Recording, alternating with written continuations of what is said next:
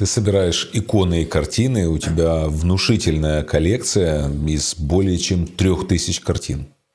Ну, слушай, а, я этим занимался очень давно еще. Я когда писал стихи, я общался ну, напрямую с художниками, в мастерских бывал, и я покупал картины у живых художников. У местных, да? Да, у местных, потому что ну, это у нас очень мощное направление. В свое время задал Леонард Туржанский, и у нас такая плеяда была, и потом вот Миша Брусиловский появился, вот киевлянин.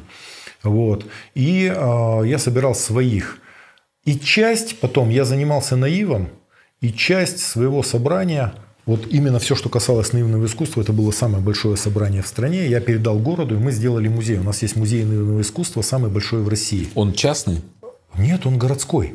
И я его передал не государству, я его передал городу. Понимаешь, как в свое время Третьяков, он же передал да, не империи, да. а он передал своему родному Москве. городу. И я передал своему родному городу.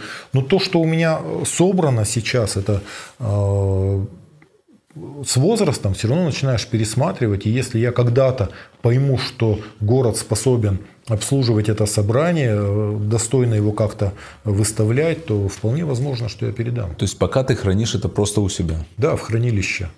Вот. И мне пока не, некогда этим заниматься, потому что я больше нацелен на музей иконы. У меня э, музей Невьянской иконы – это такой он научный, э, научно-исторический музей. Там очень много работы, ну, гигантская ну, архивная работа и так далее. Я его очень люблю, этот музей. Их вообще всего в России два. То есть это первый это мой, потом сделал Миша Абрамов через 7 лет. Я не помню, я тебе рассказывал, мы как-то с Мишей сидим, выпиваем.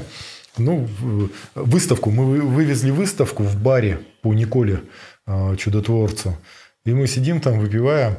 Миша говорит, ну вот объясни мне, как так получается? В России два музея иконы. Всего два. Оба бесплатные, оба придумали евреи. Я говорю, ну, ты же понимаешь, евреям всегда больше всех надо.